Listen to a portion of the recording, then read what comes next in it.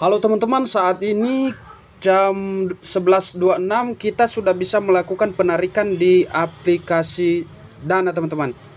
Jadi coba kita lakukan penarikan melalui aplikasi Dana ya teman-teman ya.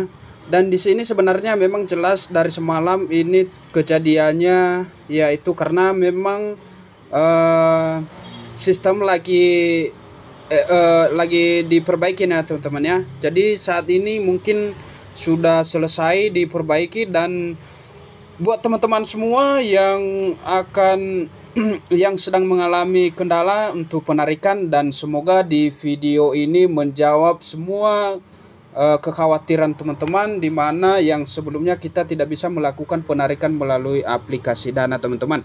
Dan saat ini kita perlu melakukan penarikan melalui aplikasi Dana dengan catatan uh, untuk penarikan ini teman-teman tidak uh, langsung masuk. Tetapi di sini kita menunggu proses beberapa hari teman-teman untuk masuk uh, saldonya ke aplikasi dana kita teman-teman. Nah jadi langsung saja teman-teman kita ke penarikannya. Coba kita klik 300 saldonya dan kemudian kita tarik ya teman-teman ya.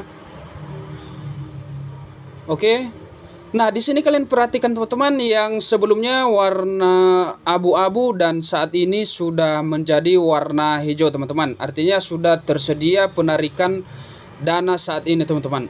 Nah, jadi langsung saja teman-teman kita melakukan penarikan dan kita coba uh, lihat apa keterangan dan uh, apa update-nya teman-teman.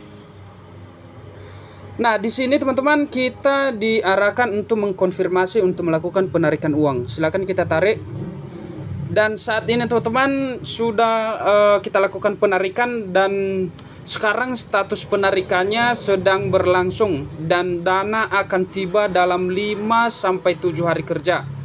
Artinya teman-teman untuk uh, aplikasi Dana saat ini sudah bisa kita gunakan dan cuman berbeda pada sebelumnya teman-teman ketika kita melakukan penarikan. Yang sebelumnya kita melakukan penarikan saat ini dan beberapa detik kemudian akan langsung masuk ke aplikasi dananya teman-teman.